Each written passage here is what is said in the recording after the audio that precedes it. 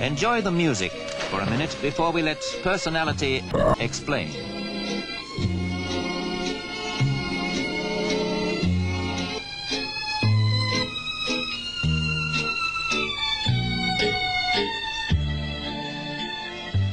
Hello there.